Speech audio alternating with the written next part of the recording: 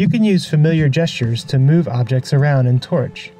To move an object around on the XZ plane, select it and then drag it around with one finger. This moves it on a horizontal plane. Dragging two fingers up and down on the surface of your screen will cause an object to move vertically in space.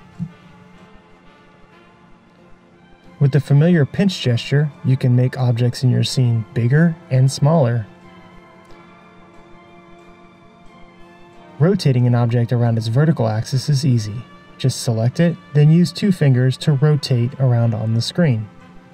To delete an object, select it, then drag your finger to the upper right corner of the screen.